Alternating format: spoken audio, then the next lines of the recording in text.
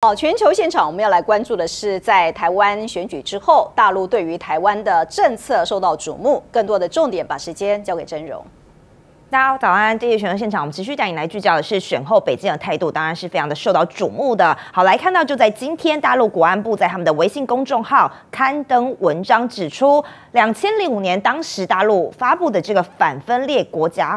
法好，甚至是用这个利剑高悬来形容它，里面就提到了采取非和平的方式以及其他必要措施，要捍卫国家主权领土的完整，有三种情形，但其中之一点名的就是以台独分裂势力用任何的名义把台湾从中国分裂出去的事实。好，大陆国家安全部更宣称说，这一步是依照大陆宪法所制定的法律，第一条开宗明义就是要把台独给斩了。好，要。遏制台独，要遏制的是他们分裂国家的这样行径。好，更是提到说，呃，这把利剑有四个面向，带你一起来看，其实是软中呃硬中带软。好，当然也有一些的是共同希望可以维护和平这样的诉求。好，分别呢，第一个来看到，当然就是这条红线了，剑指台独，遏制分裂。另外呢，也画出了这条红线。还有呢，当然说到的是这个法律赋予的神圣职责。那最后就是要争取和平。好，文章里头也指出，反分裂国家法的第五条是很。明确的。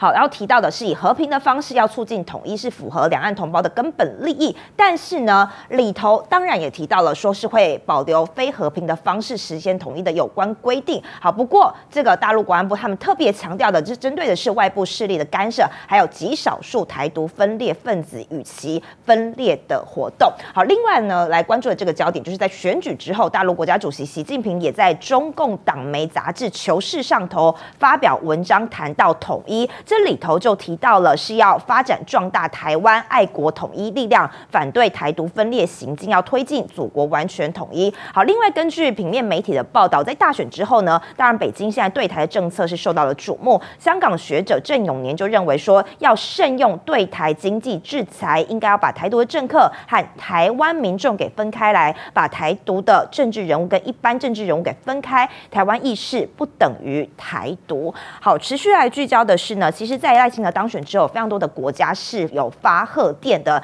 而昨天，大陆外交部的记者会发言人毛宁就在记者会上头呢，就针对说，好，新加坡等等国家祝贺赖清德当选总统，他认为这是违反一中原则。而这位发言人他表示，已经向新加坡的外交部提出了严正交涉。时事评论员郭正亮还有借文及大使呢，就针对了大陆外交部的这个强烈措辞也。做出评论，他们认为说大陆的反应其实就是因为这样子的做法已经踩到了红线中的红线。对所有有邦交的政府都是这样回答，所以只要我认为中国外交部应该就是看谁做出反应，他就给予几乎是同一个逻辑的回答了。其实过去大陆好像并没有这么这么哈反应这么快这么强，嗯，那我想这一次是从大陆的角，他判断这个性质是不同的。台湾这次的这个大选的结果哈，这个政府的性质是他们的定性就是台独政权了，对，哎，总统副总统叫做呃独上加独啊，嗯嗯，对，这个这个大陆你要了解他们这个思维方式，定性跟定调是非常重要的。他们是经过一段时间的实践以后，最后要怎么样？要做总结的。嗯，总结以后就从总结再重新这个基础上再往前走。嗯，那所以我觉得这个对于大陆来讲的话，这次台湾的选举对他来讲定性定调就是台独掌握政权。嗯，可是是一个少数的台独。嗯，那他基本上他就他就有他的做法啊。这个怎么定调？你要看他怎么定调，是决定他做法的。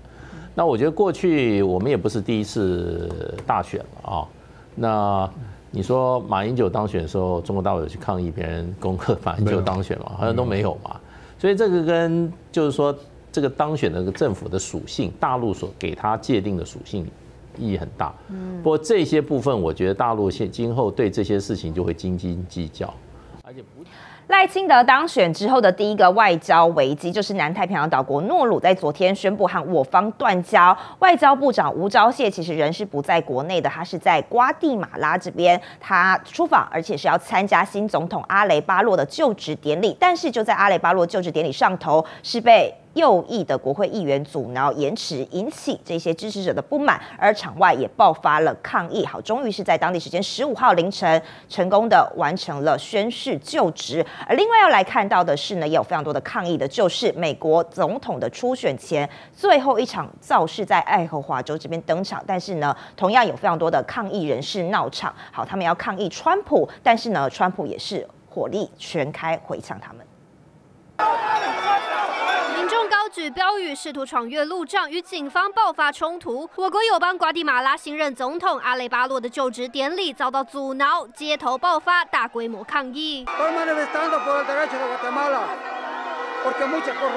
瓜地马拉右翼主导的国会针对种子党议员该不该被列为正式议员展开数小时的辩论，就职典礼因此被延后。等待九个小时后，终于在当地时间十五日凌晨完成宣誓就职。阿雷巴洛在去年八月总统大选获得压倒性胜利，主张打击贪腐，得到选民广泛支持。当选后却面临一连串状况，包括检方剥夺阿雷巴洛的起诉豁免权、新州政府交接程序暂停等等。阿雷巴洛未来执政这条路恐怕不好走。而镜头转到美国，前总统川普在爱荷华州展开初选前最后一场造势，卯足全力，火力全开，不料却遭遇民众前来闹场。Rallies. You've taken millions, millions. Thank you. Thank you. 造市场上遭遇环保人士抗议，说川普收了石油公司大笔钞票。Go home to mommy. Your mommy's way. Go home to mommy. 川普直接回呛，现场躁动起来，支持者一路将抗议人士驱出场外。川普再拼二零二四，秉持一贯论调，最新民调显示，川普百分之四十八的支持度遥遥领先，前联合国大使海利百分之二十，屈居第二，而佛州州长迪尚特则是获得百分之十六的支持度。记者综合报道。太阳星全效克菲尔益生菌，我吃了两三天，最明显的感觉是睡眠品质竟然变好了。睡得好，让我整个人工作更专注，心情也变得更稳定更好。因为太阳星全效克菲尔益生菌，才让我认识到克菲尔益生菌，它是由多支菌种的益生菌所组合而成，不仅能够维护消化道机能正常运作，还拥有多种有益健康的保健功能，相当强大。你知道吗？有台大教授专门研究它，称它是神仙的礼物。上千篇的国际研究证实，克菲尔益生菌不仅帮助肠道健康，肠道菌透过肠脑轴影响全身器官，所以维持肠道菌丛的平衡是解锁身体健康、精神健康的钥匙。对帮助睡眠、维持好情绪真的很有感。